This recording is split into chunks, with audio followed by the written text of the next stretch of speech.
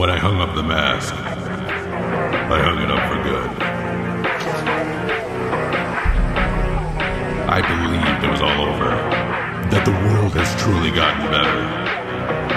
That it understood I'm not the hero this server wants.